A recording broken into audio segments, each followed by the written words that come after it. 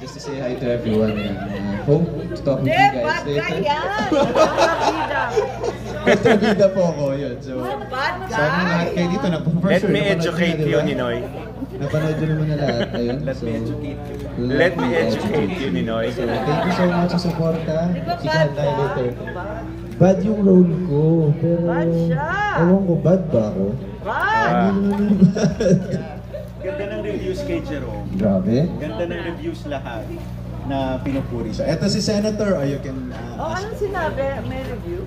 Ah, Jerome po ah, good actor, everything. Pa, ano daw, nakakainis daw siya as Ninoy. Oo, Nakaka- nakakainis Sakto yung talaga. yabang, ang galing. Sakto yung yabang. Sakto. Ang yabang nga nakakainis. Anyway, nagpatawag si ah, Daryl ah, sa atin lahat, sa lahat ng tropa. Ganun, hello, hello. Eto naman, ah, talagang kasama ko forever and ever. And Yes. Born as Ha! Okay yun na. Ba't ka may ganyan? anyway, oo. Ah, marami sa inyo, kilala ko na at sumasama-sama sa akin pag umiikot. Ang mga... Pangasinan? mga Pangasinan, Baguio. Oo, ganun.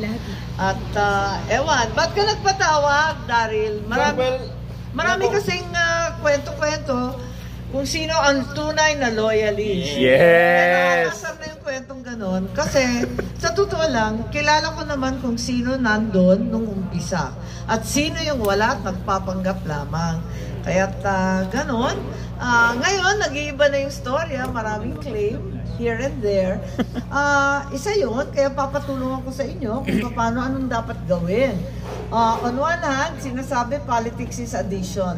On the other hand, Siyempre, iba ang turing doon sa mga nandun sa hirap at hirap. Exactly. Eh, itong mga sumulpot lamang nung may ginhawa, eh, ibang usapan. Yes. Yung mga pinklawa na biglang ah, loyalist, yung mga dilaw naman talaga, ang bituka at diwa, eh, di naman sila kasama natin eh.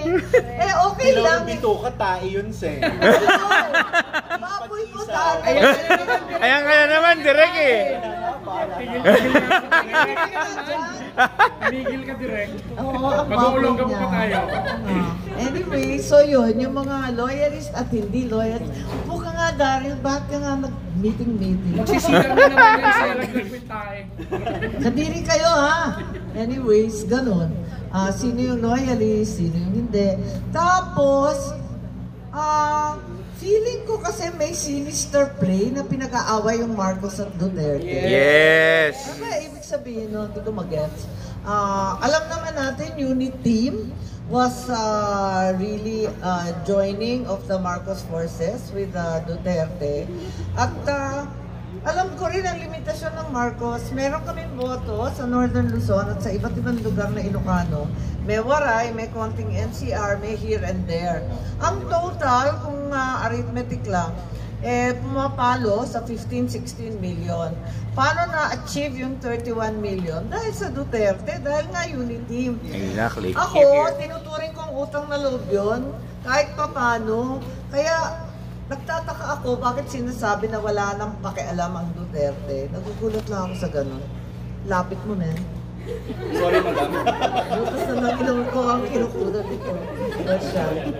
Wala. Yung gano'n, na, na, naiilang ako kasi ah, maraming mga forces na pinipilitan na ipasok. Hindi ba ganyan talaga ang gera, di ba?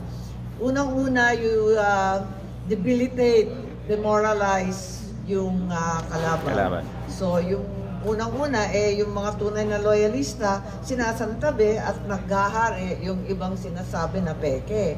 Ikalawa, yung mga kaalyado mo, patatansikin. Eh, kaalyado naman natin ang Duterte, bakit biglang ah, ginagawa ng kwento? Correct. Ako, ewan ko, I saw the president on Sunday. Looks good.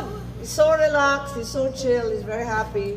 And uh, I think he, I kept telling him that he has a role to play in everything. Kasi wala naman nakakapag-unite ng Pilipinas kundi siya pa rin dahil, uh, ayun, ang taas ng pagtingin ng tao, di ba? Umalis na siya, nag-retire na siya, iba na yung Pangulo, pero tinitingala pa rin si Presidente Duterte. Malaking bagay talaga yun.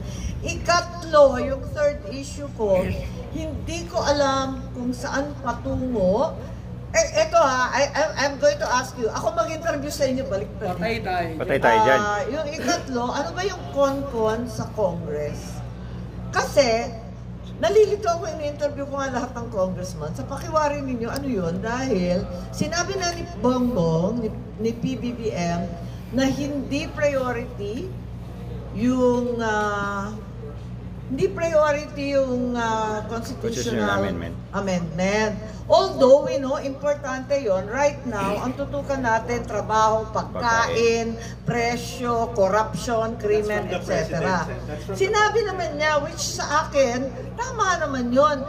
Kung may gustong magpalit ng konstitusyon, siguro yung pamilya na namin, kasi very clear naman yung 1987, um, many provisions are clearly anti-Marcos Marcos. provisions. Yes. So kung sino ang mangunguna sa pagpapapalit niyan, eh dapat kami. Kaya lang now's not the time. Maawa muna tayo sa hindi nakakakain, walang trabaho maayos, and so on. Ano?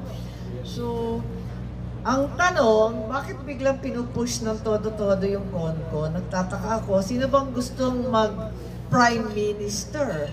Sino bang may gustong mag-presidente for life? Hindi ko maintindihan sa magaling yun. Sinabi ng wag na muna eh. Kaya, ewan ko. Ewan ko, nagiging praning na ako. Pero ang daming developments lately na hindi ko maintindihan. Baka mas marami kayong Marites, Maricon at iba pa. Paki-brief lang. O mga O, yun bakles. lang. Oh, mga baklos. Mga Pasok. bakles, bakla, anong latest?